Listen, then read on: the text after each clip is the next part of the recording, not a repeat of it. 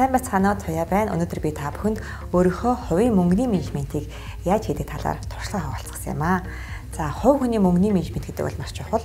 Одоо мөнгөний менежментээ хувь хүн өөрөө зөв хийж чадах юм бол бага орлоготой байсан ч гэсэн их хэмжээний мөнгөтэй болох боломжтой. Харин мөнгөний менежментээ буруу хийх юм бол одоо лотереогоос сая сая доллар олсон ч гэсэн тэрийг юучгүй болох бас боломж байдаг гэдгийг бүгдээрээ мэдэх байх.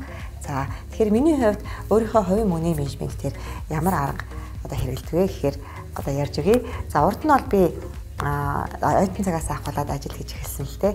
Тэгээд цалингаас цалингийн хооронд бүх мөнгөө өрөөл за нэг сая төгрөгийн цалин бол саягаа өрөө сая 500 сая 500 өрөөд хэдийг л аван тэрийг бүгдийг нь өгчээд а дээрээс нь сүултээ бүр банкнуудын кредит карт аваад нөгөө кредит картаад бас толтон өрдөг болчихсон байсан. За тэгээд ингэж болохгүй маань гэж одоо өөрөө ойлгоод ямар арга хэмжээ авч ирсэн бэ гэхээр одоо орлого юм уу цалин орж ирсэн өдрөө яг эхнийх нь мөнгөнд дүнгээсээ аваад хадгалцдаг болсон. За би жишээлбэл нэг 2 сая төгрөгийн цалин авлаа гэхэд яг тэр цалингаасаа хамгийн түрүүнд хадгаламж руугаа мөнгө хийдэг болчихсон. За тэгэхээр бол яг мөнгө хоримтлуулж чадчихилээ. Үлдсэн мөнгөөсөө биш эхлээд орж ирэнгүүт нь мөнгөө хоримтлуулаад эхлэхээр хоримтлал үүсэх боломжтой байдаг юм байлээ. Ингэж би олон жил одоо хоримтлуулж явж ирсэн. За энэний дараагаас бол энэ хоримтлуулсан мөнгө маань өөрөө автоматар сайн хамгийн одоо өндөр өгөөжтэйгээр өсөх хэрэгтэй. А урд нь бол би зүгээр хадгаламжинд аваачаад хийждэг байсан. Яагаад гэвэл манай Монголд хадгаламжийн хөө маш өндөр байсан шүү дээ. За харин сүүлийн үед бүгдээрээ мэдж байгаа тий хадгаламжийн хөө болохоор инфляциас доош орчихсон. А за энэтэй зэрэгцээд одоо санхүүгийн олон бүтээгдэхүүнүүд гарч ирж байна л да зах зээл дээр хувьцаа богоно тэгээд за тэгээ эднийг бас судалж үзлээ. Би чинь хадгаламжийн мөнгө хийгээд байлгаад гарч удахгүй болцсон байгаа юм чинь Тэгээ судлахаар маш их цаг зав орд юм. Аль хувьцааг нь авах, аль бондыг авах уу гэдэгтээ судалгаа хэрэглээ тэр компаниудын санхүүгийн танилцах хэрэгтэй болно. Аа тэгээд цаана ямар хүмүүс ажиллаж байгаа гэдгийг заавал мэдэх хэрэгтэй болно. Зөвхөн тоонд үндэслэж бол хөрөнгө оруулалтаас хийж болтгүй мөлий. Тэгэхээр нөгөө ажлынхаа хажуугаар тийм зүйл хийхээр маш их цаг зав орд юм байлээ. За тэгээд яг ингээд аюух цаг зав ороод харна гадаадд ер нь хүмүүс яад юм ингэ судлаад үтсэн чинь цаадуул чинь хөрөнгө оруулалтын сан гэдэг зүйлд авчид мөнгө өгчтэй юм. Тэр нь яах вэ гэхээр нөгөө хувьцаа бондыг чинь бүгднийг судлаад санхүүгийн зах зээл дээр байгаа бүтээгдэхүүнүүдийг бүгдийг судлаад хамгийн боломжтой холбоотаар нь мөнгө чинь байршуулад өгч тийм байл та. Жишээлбэл би нэг одоо 100 мянган төгрөг хөрөнгө оруулалтын санд өглөөхэд миний 100 мянган төгрөгийг за нэг 20 мянган хадгаламжинд өндөр хүнтэй байрлуулж өгөөд нэг 20 мянгаар нь бонд аваад үлдсэн мөнгүүдээр нэгэд олон компаниудын хувьцаа авчдээ юм. Гэхдээ тэр хувьцаануудын ингээд тодорхой хугацаанд хувьцаагаа аваад зараад аваад зараад ахаар хамгийн ашигтай холбоотоор байрлуулад өгчтэй юм байна. Тэгсэн чинь Монголд маань бас ийм компаниуд бий болсон байна. Хөрөнгө оруулалтын сангууд гэсэн үг. Айгүй амар зү тэ таны өмнөөс яг мэрэгжлийнх нь хүмүүс бүх судалгааг нь хийгээд таны мөнгө чинь хамгийн өндөр боломжтой холбоотоор нь байрлуулад өгчнө гэсэн үг. Аа тэгээд энийг би одоо сүүлд хэрэгжүүлж эхэлж байгаа. Энэ бол мандал хоримтлал гэдэг аппликейшн. За хэрэглээд маш хэлбархан яад гэхээр би зүгээр картаа л холбогдож байгаа байхгүй орлого орж ирдэг картаа холбочонгууд миний картаас автоматар мөнгө татаад эхэлдэг. Надад аюу амар. А дээрэс нь нөгөө татаж авсан мөнгөний маань хамгийн боломжтой холбоодоор ингээд зах зээл дээр байрлуулад өгчөж байгаа юм.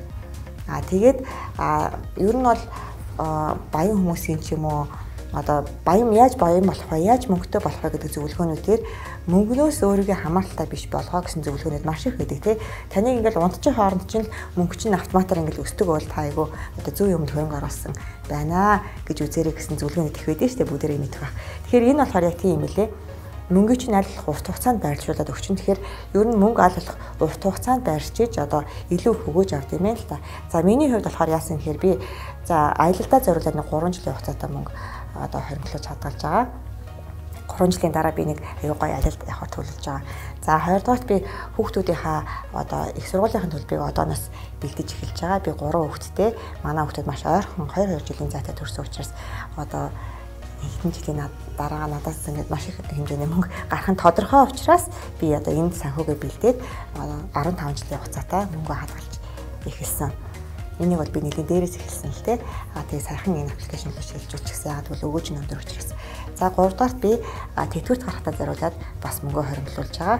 Би бол хөгшөрхөн тодорхой Монгол хүний дундаж насал за нэг 70 орчим би одоо нэг 70 наслна гэж бодож байгаа. Тэгээ тэр үедээ хэрэглэх одоо тэтгэвртээ гарсан ханаа хэрэглэх мөнгөө одооноос хоримтлуулж эхэлж байна. Тэгэхгүй бол одоо манай одоогийн байдлаар тэтгэврийн одоо систем маань хэцүү шттэ. Ер нь бол ноолтой мөнгө бол авч чадахгүй гэдэг нь гэдгийг одоо бүгдээрээ мэдж байгаа.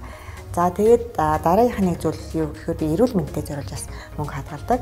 А бид нар бол өвдгөн тодорхой. За би биш юм аа гэхэд манай хүүхдүүд гэр бүлийн хүн, эрүүл тайрны хүн, ээж аав маань тийм өндөр настай хүмүүс тэдний ямар нэгэн байдлаар эрүүл мэндийн асуудал одоо тулгаан тодорхой учраас тэр үед нь би одоо санхүүгээ бэлэн байлгах гад одоороос ингээд мөнгөө одоо хоримтлуулж эхэлж байгаа. Ингээд доороож 3 4 төрлийн ингээд хоримтлал үүсгдэг гэсэн. Хугацаанууд нь бол янз бүр байдаг. За 3 жил, 5 жил, 10 жил, 15 жил гэх яг ямар зорилготой байна вэ гэдгээс шалтгаалаад одоо хоримтлаа янз бүрээр ингээд үүсгэж байгаамаа. Тэгээд энэ мэдээлэл та бүхэнд хэрэгтэй байх гэж удаад өнөөдөр хуваалцлаа. За энэ аппликейшны нэр бол Mandel хоримтлал аппликейшн. Та бүхэн ороод одоо хэрэглээд үзээрэй. Сард одоо хамгийн бага хоримтлал хатуу маань 1000 төгрөгнөөс эхэлж байгаа.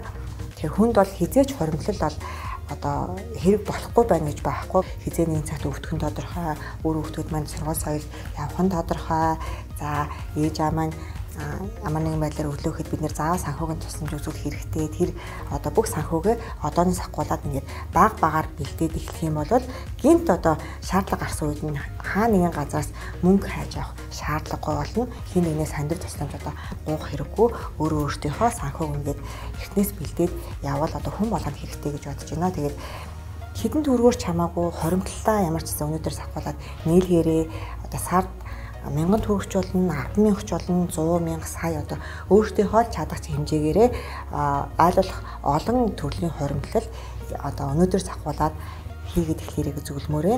А тэгэх юм бол эн чинь хоримтлал маань урт хугацаанд явах тусам өгөөж нь одоо бүр их ингээд илүү нэмэгдээд ирдэм байлээ.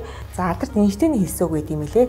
За энэ хоримтлын хүч гэдэг зүйлийг мэддэг хүмүүс нь өөр өгөөжийг ашиглаж амьдардаг. За мэлтүүнүүд нь болохоор энд мөнгө төлж амьдардаг юм а гэсэн үг үгүй юм лээ. Тэгэхээр бид нар өнөөдөр хоримтлалын хүч, хоримтлал гэдэг зүйлийн талаар мэдээд авчиж байгаа юм чинь ирээдүйд одоо мөнгө төлж амьдрах биш харин хоримтлалынхаа хүчийг өгөөжийг бас хүртэж амьдрах юм боломжтой учраас та нарыг бас бүгдээрээ аппликейшнээ татаад энэ гоё хоримтлалын хүч гэдэг зүйлийг мэдэрч амьдраасаа гэж хүсэж байна. Аппликейшн татахыг хүсвэл одоо дээр байгаа линкээр ороод татаж авч үзээрэй. Би бол хувьдаа ингээд дотор нь 4 5 төрлийн хоримтлын даас үүсгээд хэрэглээд явж байгаа шүү. За ингээ баярлаа. Баяр таа.